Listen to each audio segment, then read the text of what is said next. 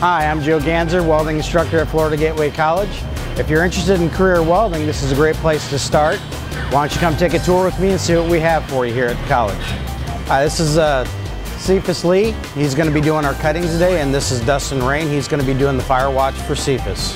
One of the first things you learn to do at Florida Gateway College is you learn how to cut steel. Cephas is marking out metal, getting it ready to cut. He's going to mark it out into the prescribed or the designated lengths for a particular welding project. He happens to be cutting metal out right now for the AWS D11 structural weld code test. Then he's going to be lighting the torch and making a cut. After he's got the metal marked out, he's going to be lighting his torch. One of the things that we're looking for when you light the torch is to have a neutral flame. That's a properly that's a flame of properly mixed fuel and oxygen so it's not overburning the metal or melting the edge of the metal.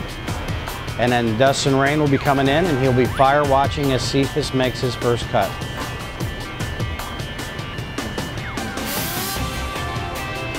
You want to make sure that you're preheating the metal before you get started. And you want to progress across the metal as smooth as possible while maintaining an even and constant arc gap with the torch tip. And ideally, we want to try not to stop. The fire watch is supposed to be scanning the area where the sparks are going to make sure that nothing's catching on fire, including the shoe tops of both himself and the person who's cutting.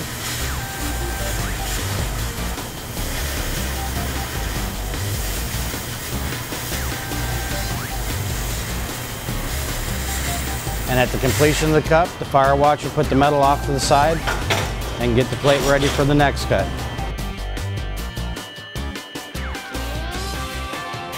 This is Cody Stucker. He's going to be demonstrating for us today how to bevel plate with a track torch. He's going to set up a neutral flame. Then he's going to get his torch preheated on the edge of the plate. Then he's going to engage the transmission and start his cut. He's going to have to make some adjustments as he's cutting. Like right now, he needs to make a speed adjustment. He's going too slow. A little bit faster. A little bit faster. There you go.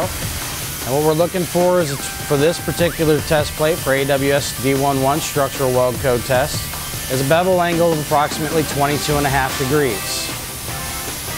We're using a track torch because it provides a nice, smooth, gouge-free edge, makes cleaning of the bevel a little bit easier and a little bit more precise than doing it with a hand torch. Once the torch is all the way through the metal, he will move, remove the cut dross then with his pliers reveal a nice smooth beveled edge. Now that plate is ready to be cleaned. This is Kendall Hurd. He's going to demonstrate to us how to clean the beveled plate that we have as well as the backing strip so that we can go ahead and get our pieces fit together after that. Kendall's going to do is he's going to clean any of the dross and mill scale from the plate. Dross and mill scale causes porosity and other weld defects or discontinuities in the weld, so those have to be removed before that we can weld this metal together. So he's going to go ahead and do that now.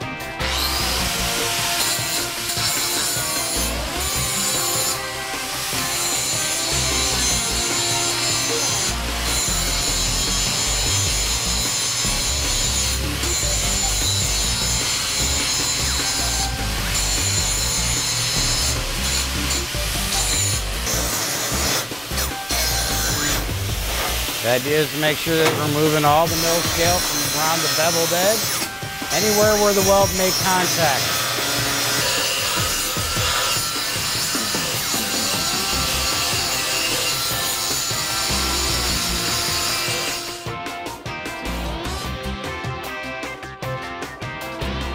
This is Joseph Todd. He's going to be demonstrating to us how to make a weld with the plates that we've cut, beveled, and cleaned now he's going to be welding up our AWS D11 plate.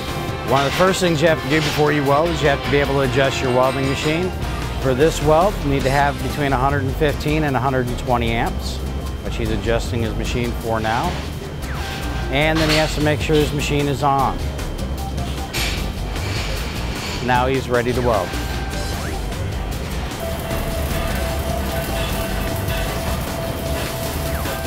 Some of what he's trying to control is arc length, rod angle, which is both direction of travel as well as side to side angle.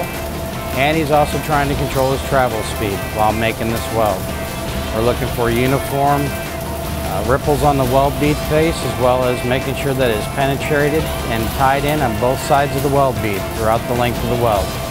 This weld will take two to three rods to complete each pass. After he completes the weld, he'll have to chip off the missing the slag and brush it. This is Megan Seller. She's completed her AWS structural weld code test and she's got her plate cleaned and we have coupons cut from that plate that we're going to test with our bend tester to make sure that it meets qualification standards. All right, now in order to pass the bend test, both test coupons have to bend. We're gonna put them in this bending jig and we're gonna bend them and we're gonna visually inspect them to see if there are any discontinuities. Turn the machine on, I put my coupon in the bender. And then I'm gonna engage the ram to go ahead and make the bend.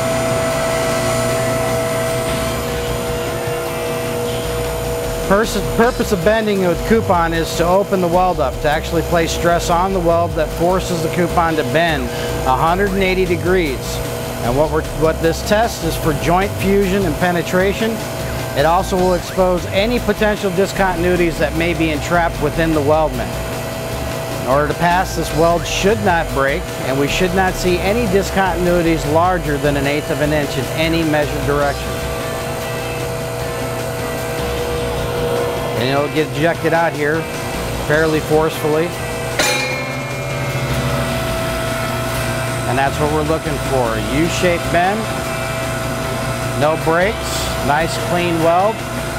This weld pass. That's all we have for you today. If you're interested in joining welding, like these guys, you can contact either myself, Joe Ganzer, or Carl Romano, or you can visit the college website at fgc.edu.